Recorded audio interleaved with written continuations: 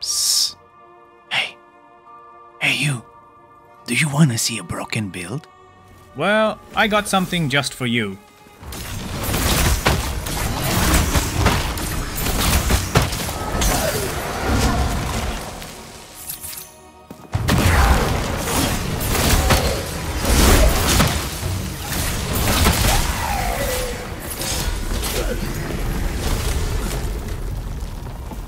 This is without a doubt the most insane damage I've managed to get on a build in no rest for the Wicked.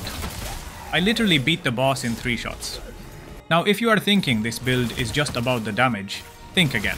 This build has defenses that could stop a freight train, mobility that would make a cat jealous, health and focus gains so good you'll feel like you discovered the game's cheat codes. Also, this build is as deadly up close as it is from a distance, wielding one of the best dexterity spears in the game.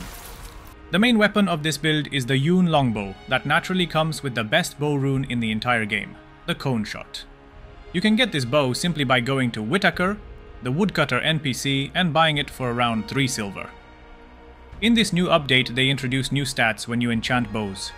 The stats I recommend you try to get are any element damage and weight decrease. The weight is that it can help you wear the heaviest armor without investing too much into equip load.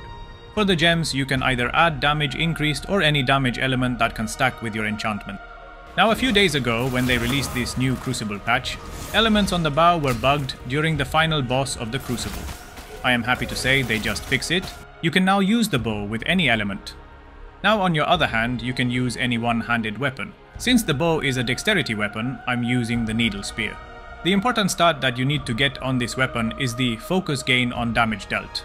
Of course, if you get health gain on damage dealt, even better. Then add a focus on damage dealt gem on it. This focus on damage dealt will contribute to the focus gain when using the bow in your other hand. The damage on this weapon will not increase the damage of the bow. The second reason I'm using the Needle Spear is because it naturally comes with the best damage buff rune, the Damage Surge. I also added the Twirl Dash on it to make it as powerful as the bow in close combat. Now for the rest of the gear. On the helmet, the important stats are poise, stamina and weight decrease. I also added a stamina decrease gem. We are focusing on stamina because the normal bow attacks use a lot of stamina. For the body armor I got equip load, poise and stamina. For the gem I added a focus increase. Then we have the gloves where I rolled equip load and again stamina. I added a weight decrease gem to make me even more lighter.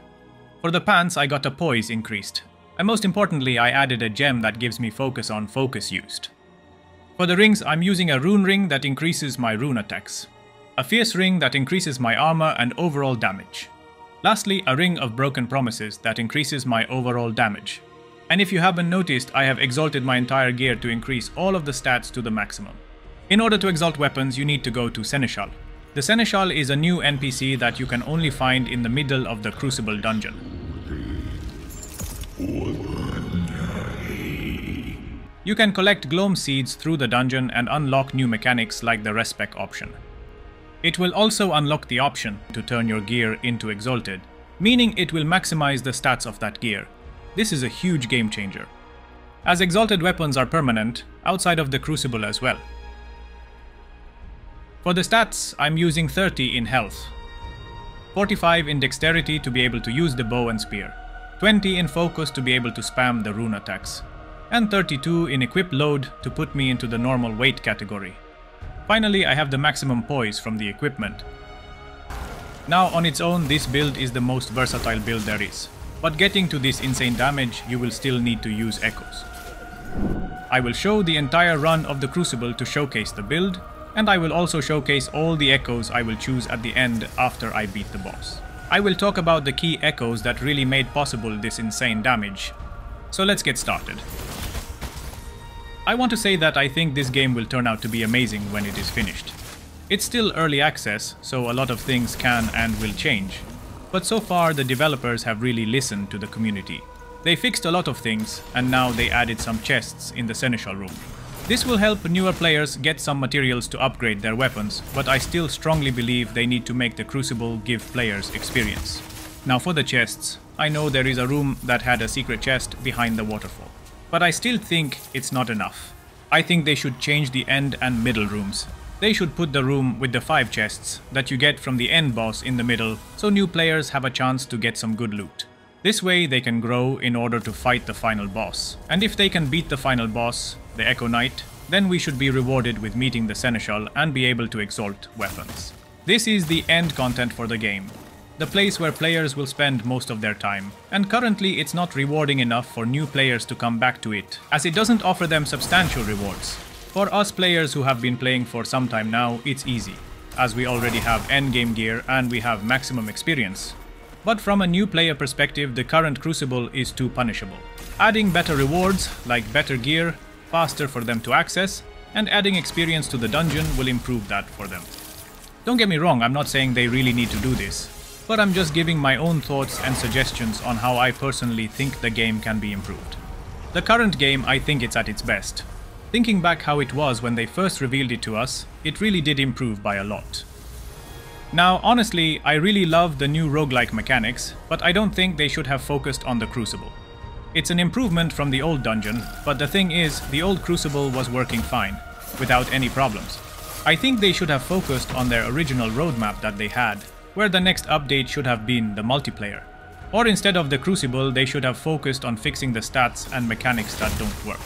The overall focus gain still doesn't work no matter how much I increase its percentage. The focus on damage dealt and focus regeneration works, but the overall focus gain that technically should increase the damage and regeneration focus still doesn't work. The damage reflect also doesn't work at all. I remember there was a build with the damage reflect, where people were killing the Echo Knight in a matter of seconds without even attacking. After they released the first patch, the damage reflect was not working anymore. Not sure if they intentionally stopped the reflect stat, or they tried to fix it and broke it completely. Not to be confused with the deal damage on damage taken stat that still works. That unfortunately, you can only get this stat on one piece, the main armor. There is also the confusion with the knockback resistance, stagger resistance and poise, I think they should remove the knockback and stagger since they don't currently work, and just leave the poise. I would also like to see this stats on the character menu. I would like to see the attack speed stat there. The knockback resistance and stagger resistance. We have stamina regeneration there, but we don't have the focus regeneration or health regeneration. Then comes the problem with the houses. We have furniture, but in my case, for example, in all of the houses, I only have chests to store materials, gear, and food. I literally have chests over chests. I think the decorations are useless. Maybe they can give some effects or buffs to us. That way, it will make us actually use the decorations. I would also like to see some farming mechanics. I'm seeing so many signs of farms and ways that can be implemented. This will help a lot with actually making players get invested with the crafting of different potions and food recipes. Now again, these are just some of my thoughts and suggestions. The second patch after the Crucible really did fix a lot of problems especially the performance issues while using the bow with elements during the Echo Knight. They fixed flame enchantment effects staying too long on fired arrows, and I can now do this insane build. They improved Echo Knight's hit cooldown to prevent accumulation. They fixed certain echoes reactivating after leaving the Crucible. Fixed heal over time not refreshing correctly when reapplied. They added these two chests in the Seneschal room, They also fixed staggering an enemy no longer breaks their poise. This prevents enemies from getting in interrupt loops or repeatedly getting staggered. We just got Bloodthirst Echo. This is one of the key echoes for this insane damage. This echo increases the overall damage by 50%, but you take 25% more damage. There is no problem, as now you can basically one-shot kill most of the enemies in the Crucible. And even if you take a lot of damage, this build has so much armor, you will still not die. The lock onto the enemies in this game still is a bit clunky. Now with this Bloodthirst Echo, you should see me already doing an insane amount of damage. Just look at that damage. The Cone Shot rune shoots 8 arrows. Now look at my damage. 120 normal damage per arrow and 500 from the Ice Elemental. They don't stand a chance. Remember when I said that there is a chamber with a hidden chest behind a waterfall? It's here. Now when I was doing this run I forgot about it, but you have to slide on the small edge and you will soon find it. It's usually a big chest there.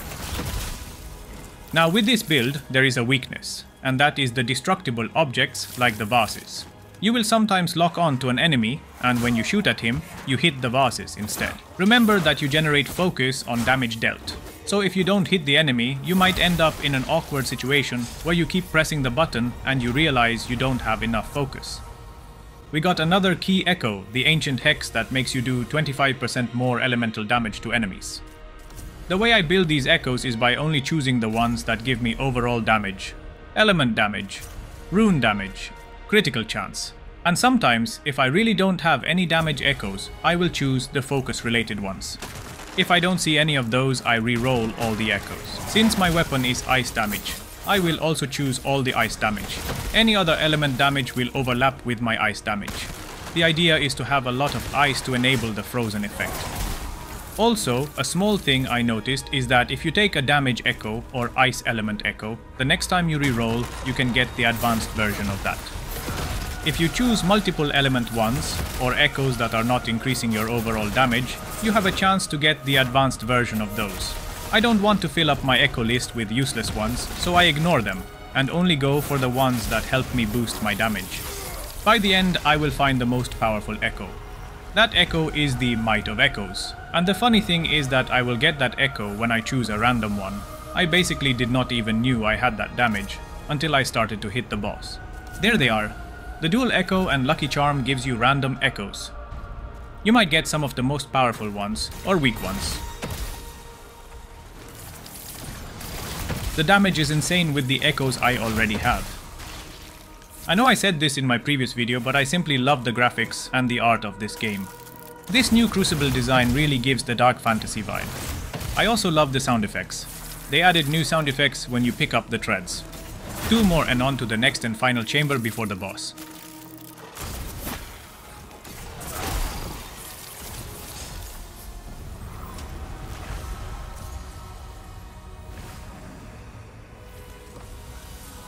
Let's get a few more random echoes. I hate the version of this chamber that has water. It slows you down even if you roll. Just look at that damage. One of the random echo just considerably boosted my elemental damage.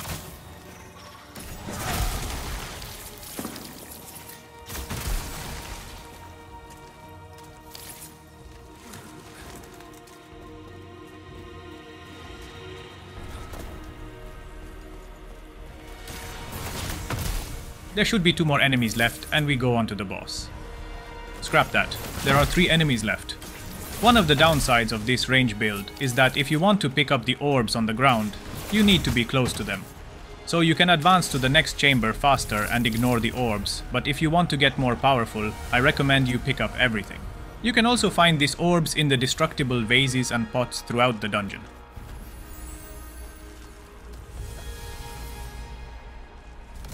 And now, unknowingly, I got the best echo in the entire game, the Might of Echoes.